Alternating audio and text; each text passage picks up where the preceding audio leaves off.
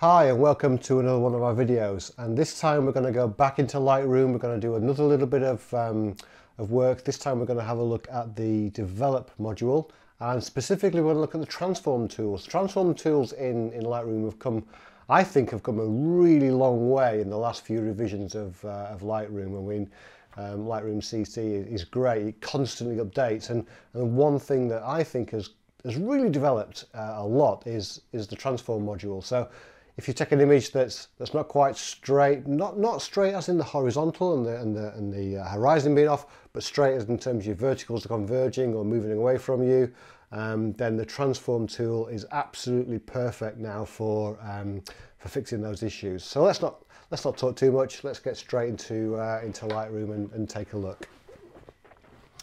So to demonstrate this, I've got I've got two images here. Um, this the first image. Let's let's open up and have a quick look at that one. This is the inside of uh, of Durham Cathedral, and um, as you can see straight away, the the verticals are uh, are, are, moving in quite quite significantly, and uh, and generally.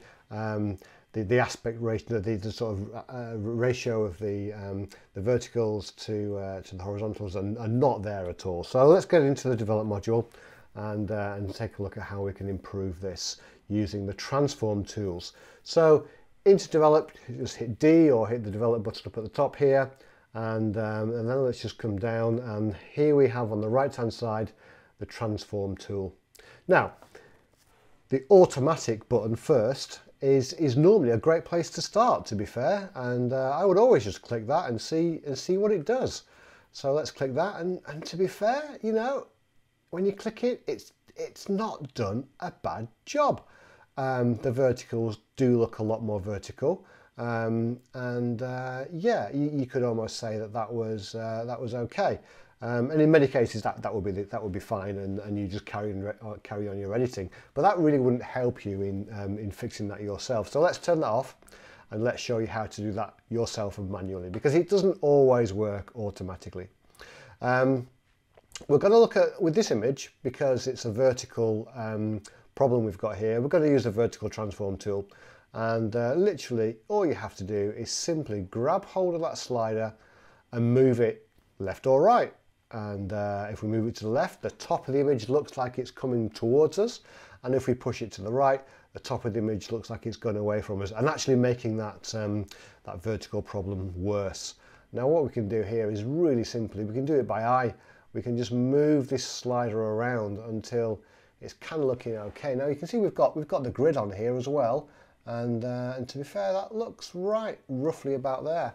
Um, and you'll notice straight away that we've started to get this white down the bottom where, where Lightroom is making calculations as to, as to what needs to be in the image at the top and, and, and either adding or removing pixels at the bottom um, it literally can't do that because we're working right on the edge of the frame, so it's just left that white. Um, not, we don't need to move any of these other um, uh, sliders here, but I'm just going to show you what they do. So horizontal, we'll come onto this one more in, in another image. Um, just exactly the same as vertical, but it, it, rolls it to the side. So it pulls the left-hand side towards us and pushes the right-hand side away. And if we move it the other way, it just swings it around the other way. Um, as always, if you've moved something and you're not too sure exactly where it was, just double click it and it puts it back where, where it was at the start. Rotate doesn't really need too much of an explanation. It just it just rotates the image, and there's other ways to do that using um, using this crop tool just up the top here, which we'll, we will use in a moment. Um, um, but uh, that is just a simple rotate. Aspect aspect you can get some quite interesting uh, results. Uh, pull it to the left and it kind of squats your image down, crushes it down a little bit and stretches it out to the side. Um, push it to the right and you kind of get a tall lanky image um, which uh, kind of accentuates the, the height of the building in this situation. Once again, let's just leave that back in the middle. Scale, um, literally just pushes it back into the image or, or, or, zooms it in. I really can't see why anybody would really want to use that um, when you've got a perfectly good crop tool. So um, let's just leave that uh, as it was in the middle and an X and Y offset. Once again, a couple of tools that I would never really use. Uh, it just moves it to the left or moves it to the right, um, creates white space around the edge of the frame.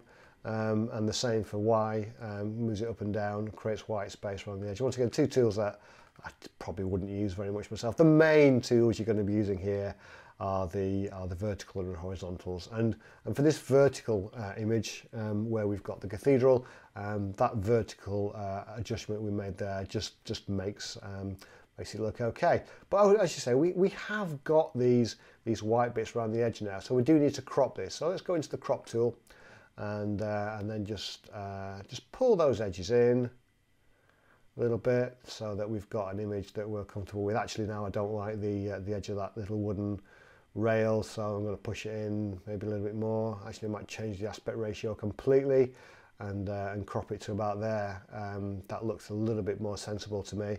Um, let's hit enter and look at that image. Now that image from, from what it was a moment ago, if we do a before and after, um, we can see that um, the before and after we've got these converging verticals on this one and this one's now, now quite and straight. Um, for those of you that don't know how to do the, the, the before and after, I just press the Y key and that turns before and after on and off. Okay, so that's that's one image we've looked at. Let's look at the next image, which is um, not far from Durham. This is the, the um, it's not a great picture. Neither of these pictures are great. I would never use them in any kind of uh, sort of external work or in, in, in, club work. They're just illustrating a point for us. This is the Sage Centre um, in, uh, in Gateshead, taken from uh, Newcastle. And, and the problem with this image is we've got a we've got a, a, horizontal that goes sort of diagonally right the way across the image. But because of the building itself, if we fix that the normal way, so let's just head off into uh, develop module. If we came to the crop tool and um, and just fix that using a, using a straight rotate to make that make that line correct, then what we can see here, what we've done is we've made we've made this line wonky now so, um, you know, the Sage building is not on a hill like that, although it now looks like it's on a hill because we've straightened uh, this, uh, this horizontal there. So clearly we've got a problem with this image, which is not, um, which is nothing to do at all with, um, with just a straight rotation to, to, to, to solve the problem. So what we need to do is, the issue actually is in um, the, the, the transformation. We've got some converging horizontals in this situation we're going to do here, we're going to do it manually again. This time we're going to go to the horizontal um, slider. And if we push that to the right, let's see what happens first. And that, that right hand side of the image starts to come towards us and we start to get some open space there on the left. That's clearly going really wrong. But if we just push it to the, to the left, then what we start to get is we start to get that line kind of the right hand side just going away from us a little bit and the left hand side just coming towards us. And if we take a nice little look at that, we can then start to see that, yeah, do you know, that's, that's about right just there. Um, not a massive adjustment, but um, that now looks uh, kind of okay. And if we go back to our crop tool up the, up the top, and uh, let's just uh, pull that, that in a little bit so that, um, there we go, that'll be all right. Keep that bit of boat in there or whatever it is. And once again now, that looks more natural, that looks more kind of square where the um, where the image before absolutely didn't. Let's go to the X to the uh, before and after, and we can see.